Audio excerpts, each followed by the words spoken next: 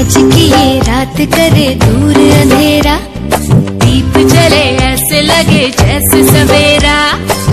प्यार की सौगातें हूँ तारों की बारातें हूँ।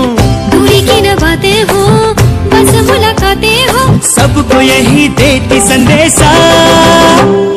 दीपावली गली गली बन के खुशी छाई रे